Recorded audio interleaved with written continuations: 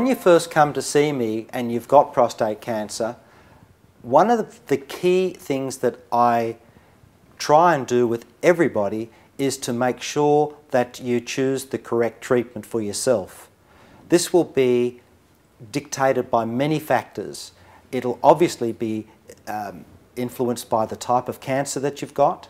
It'll be influenced by the type of prostate that you've got, how big it is, how many urinary symptoms you've got. It'll be dictated by your own personal preferences.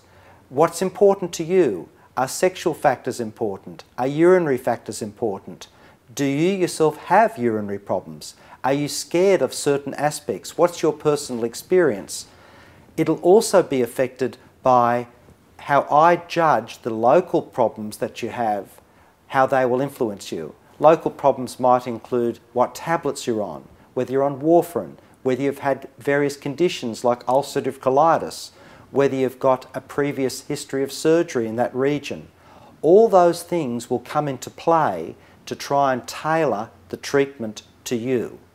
So after having a full discussion with you about the different types of treatments and knowing your particular priorities and knowing your tumour and knowing your prostate, then we can make a final decision about which treatment is likely to give you best outcome. Examples might be if you've got a very advanced cancer, uh, but it still appears to be reasonably confined to the prostate region, open surgery may still be your best option. If you've got a less advanced cancer and you're particularly keen on a quicker recovery, robot assisted surgery might be your best answer.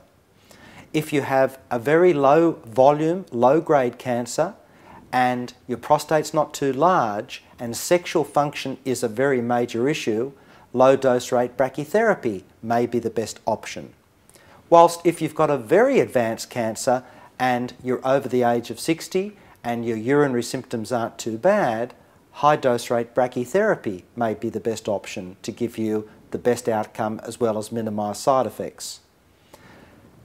If you've got a very low grade cancer and it may not be a threat to your life, active surveillance or simply monitoring it may be the best answer.